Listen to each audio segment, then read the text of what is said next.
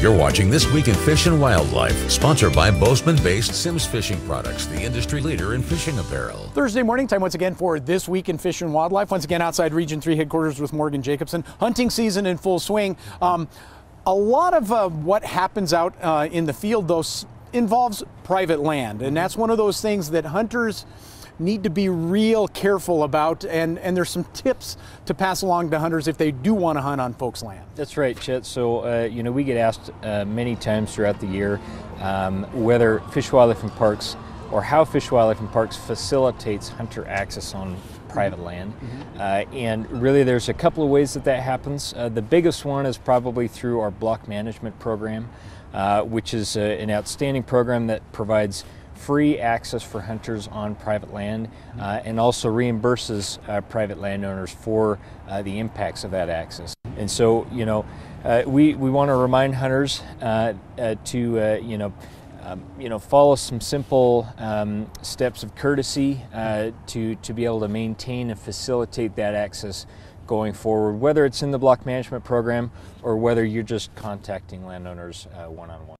This land is uh, primarily, for the most part, the private land we're talking about is agricultural land. Mm-hmm. And that means livestock, that means farm equipment and things like that. No matter where you're hunting, you should know where you're shooting. But I would think in this agriculture land, in this private land, even more care should be taken. That's exactly right, Chet. You know, these are working landscapes. Mm-hmm. Um, and uh, and you know safety uh, is is paramount in, in these situations too. So uh, you know you know, if, if you do gain access and, and permission to hunt on private land, uh, you know, uh, practice safe shooting behavior. Um, you know, some of the top reasons why landowners stop allowing public access include unsafe or unethical shooting behavior.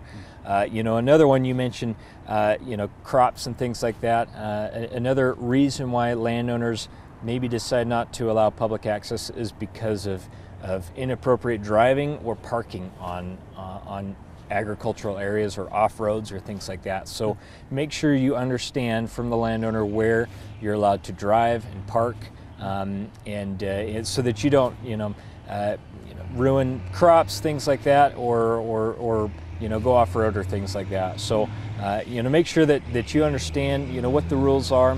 Um, you know, another good rule uh, and another common mistake that uh, that landowners talk about is littering. Mm. You know, um, and you know whether you hunt on private land or public land or anywhere in Montana, you know, littering is just uh, you know just not a a, um, a, good a good practice, obviously. So mm-hmm. Uh, you know, make sure that you. Um, keep keep the place uh, as clean as you found it and, and uh, in, in, in good condition when you leave. seems to me everything you've mentioned there is common sense. Mm-hmm stepped up a notch. Right. Yep. Just practice common sense. Be courteous. Uh, remember to, to, to tell people thank you. Um, and you know if if uh, you know you, you go and ask for permission to hunt on land, on private land, and the answer is no. You know, still important to be courteous because you know you never know that may um, open a door of opportunity for next year. So just keep that in mind, and uh, you know as you look for places to hunt, plan ahead, uh, and and you know contact landowners in advance and offer to help however you can. That's perfect. Again, Morgan Jacobsen joining us this morning. Hunting on private land in Montana is a big part of the hunting season, but it comes with responsibilities by the hunters for sure. That's right. Yeah, we, we want to facilitate access wherever we can. So, yeah. Appreciate it. Thank you, Morgan. You bet. And that's This Week in Fish and Wildlife. You've been watching This Week in Fish and Wildlife, sponsored by Bozeman based Simms Fishing Products, the industry leader in fishing apparel.